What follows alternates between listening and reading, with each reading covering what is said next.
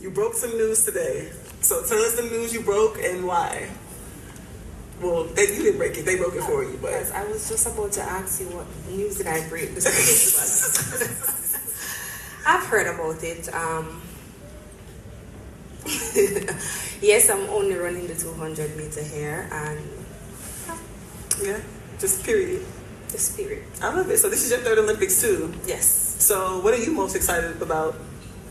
Um, just to compete, I think I, as I said in 2016, I had an experience of my life. I went to opening ceremony.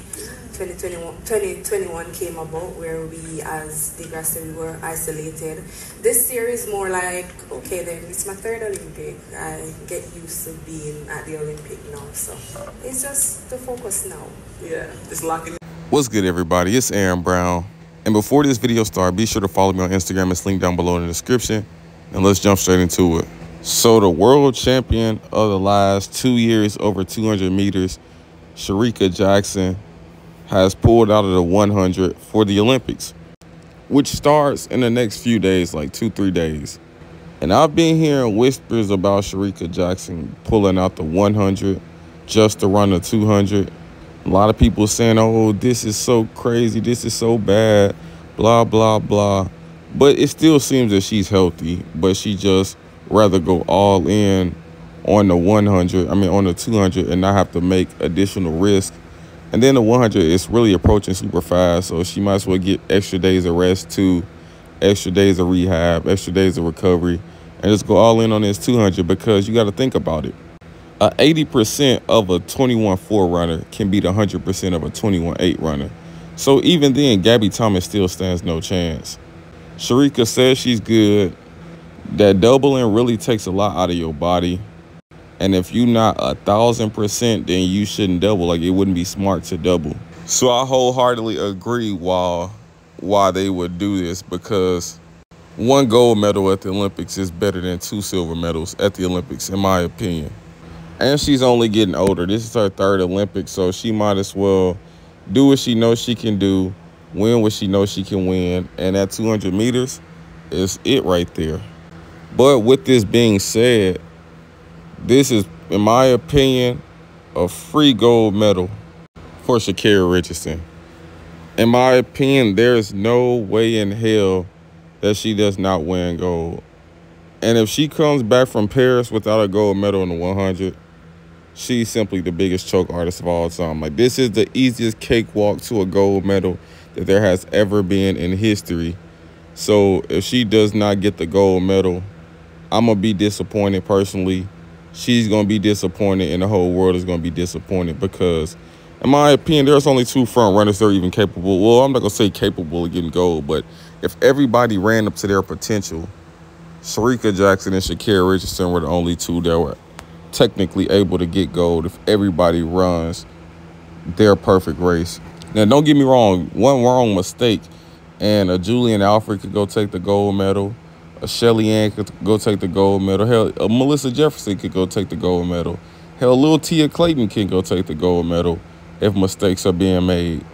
But even with slight mistakes, Sha'Carri Richardson still should clear the field and be able to go win a gold medal. But I do know this was a showdown that many, many people were anticipating and wanting to see.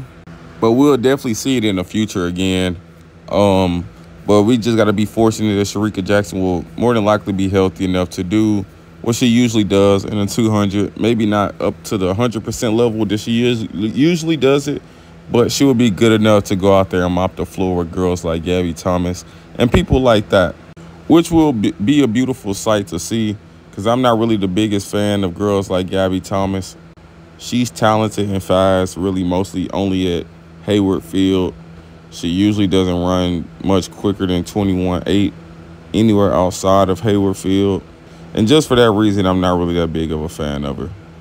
Shericka Jackson coach said things have been going good. Training has been going good. So that is on the upside, and I'm glad to hear that. And I'm very, very curious to see how she will look when she pops out. I think she will look pretty decent because I pretty much had the same injury she had this season. And I was good a few weeks later, like three weeks later. And then I came back around the 200 and opened up with a PR. And I know she has way better doctors than I had and way better medical staff and personnel than I had. So I think she will definitely be be good to go. She may not be in PR shape, but luckily she damn near broke the world record, so she doesn't have to be anywhere near a PR to win. Because when you have people like Gabby Thomas who are the second fastest behind the Shericka Jackson, that just goes to show how mediocre the field is anyways. So if I was her, I would take my chances in the 200 as well than the 100 put all your eggs in one basket that you're 100% confident in to where because she knows in the 100 she has to be 100% a thousand percent and run a really really really really good race to go out there and win. But the 200 85% and can run a semi decent race and still go out there and win so i think she's smart for this and then she also gets a few extra days of rest a few extra days of recovery few extra days of rehab. So in my opinion, this was the smartest decision that could have been made. And plus, they've been talking about this for the last week or so, that she's um, probably going to pull out the 100. And then good thing for Jamaica, they get to run another person, Shashalee Forbes. So we get to see how she can go out there and fare against the best in the world in the 100. And I also um, respect this decision by Shericka Jackson because giving somebody else an opportunity to run who is 100% because some people would be super selfish and just um, still go out there and run knowing they're not a thousand percent healthy when there was somebody else who could have ran. So I respect her for giving that opportunity to somebody else as well. But y'all let me know what y'all think about this. Is this a free gold medal for Sha'Carri? And how would y'all feel if Sha'Carri went out there and still didn't win?